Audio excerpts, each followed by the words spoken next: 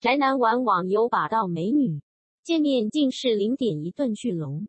北京十一日综合店，中国湖南株洲市一名二十九岁刘姓宅男，在去年十一月挂网上玩游戏时，认识了一名女玩家，对方更进一步秀照片，发现女玩家竟然是一名正妹，刘男马上对她倾心，更对她甜喊老婆，女方也不抗拒。但后来宅男看到本尊，发现女子的照片跟本人完全不一样，甚至龙到让他崩溃。据中国媒体报道，刘楠一直单身，家里也催促他找对象。刘楠平时爱玩网络游戏，就在去年十一月，他透过网络游戏终于找到真爱。刘楠认识了张姓女网友，两人在游戏中还结为夫妻。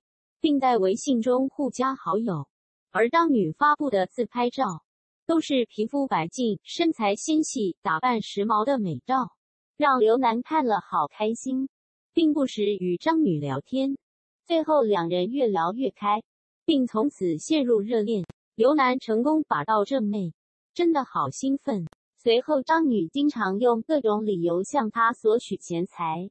包括生病没生活费、缴房租、父母出车祸等，但刘楠都二话不说，立刻转账给老婆。之后，刘楠想进一步与张女见面，但奇怪的是，张女一直避着他，频频拒绝当面见面的邀请，这让刘楠开始起疑。就是这些漂亮的美照，让刘楠不断的送钱，肉眼目睹本尊零点一顿，害刘楠崩溃。刘楠之后探听到张女的住处，并在今年三月前往拜访，但一打开门，刘楠发现眼前的张女跟照片里的张女完全不一样。更让刘楠无法接受的是，她体重约零点一吨，比我还要魁梧，好崩溃。刘楠更发现，张女对他说的个人背景和家庭情况全部是假的。刘楠表示。